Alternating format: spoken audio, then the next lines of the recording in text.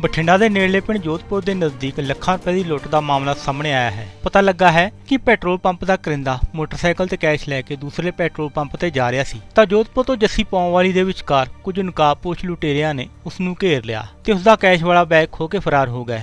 ਵਾਰਦਾਤ ਦੀ ਸੂਚਨਾ ਮਿਲਦਿਆਂ ਹੀ ਥਾਣਾ ਸਦਰ ਦੀ ਪੁਲਿਸ ਅਤੇ ਡੀਐਸਪੀ ਰਾਜੇਸ਼ ਸ਼ਰਮਾ ਮੌਕੇ ਤੇ ਪਹੁੰਚੇ। ਡੀਐਸਪੀ ਰਾਜੇਸ਼ ਸ਼ਰਮਾ ਨੇ ਕਿਹਾ ਕਿ ਪੁਲਿਸ ਨੇ ਜਾਂਚ ਸ਼ੁਰੂ ਕਰ ਦਿੱਤੀ ਹੈ। ਕਰਿੰਦੇ ਤੋਂ ਵੀ ਪੁੱਛਗਿੱਛ ਕੀਤੀ ਜਾ ਰਹੀ ਹੈ ਤੇ ਦੋਸ਼ੀਆਂ ਨੂੰ ਜਲਦ ਹੀ ਗ੍ਰਿਫਤਾਰ ਕਰ ਲਿਆ ਜਾਵੇਗਾ।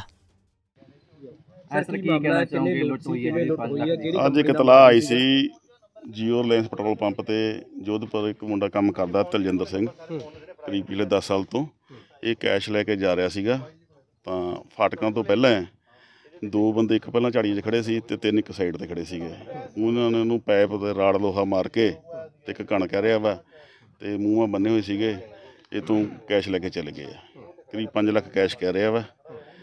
ਟੀਮਾਂ ਸਾਡੀਆਂ ਆ ਗਈਆਂ। ਮੁਕੱਦਮਾ ਦਰਜ ਕਰਕੇ ਅਸੀਂ ਤਫਤੀਸ਼ ਕਰ ਰਹੇ ਹਾਂ। ਕਿਹੜੇ ਵਹੀਕਲ ਕਿਹੜੇ ਇਸਤੇਮਾਲ ਹੋਏ ਸਰ ਹੁਣ ਤੱਕ ਇਨਫੋਰਮੇਸ਼ਨ ਨਹੀਂ ਉਹ ਇਹਨੂੰ ਕਲੀਅਰ ਨਹੀਂ ਹੈ ਕਿਉਂਕਿ ਕਰ ਪੈਂਦੀ ਹੈ ਝਾੜੀਆਂ ਹੈਗੀਆਂ ਨੇ ਇਹਨੂੰ ਪਤਾ ਨਹੀਂ ਲੱਗਿਆ ਇਹ ਡਰਦਾ ਮਾਰੇ ਪਿਛਲੇ ਪਾਸੇ ਨੂੰ ਉਲਟ ਪਾਸੇ ਨੂੰ ਭੱਜ ਗਿਆ ਤੇ ਦੂਜੇ ਪਾਸੇ ਨਿਕਲ ਗਿਆ। ਕਿਹੜੀ ਕੰਪਨੀ ਪੰਪ 'ਚ ਕਿੱਥੇ ਲੈ ਕੇ ਚੱਲੇ ਸੀ ਇਹ ਰਿਲਾਇੰਸ ਦਾ ਸੀਗਾ ਜੀ।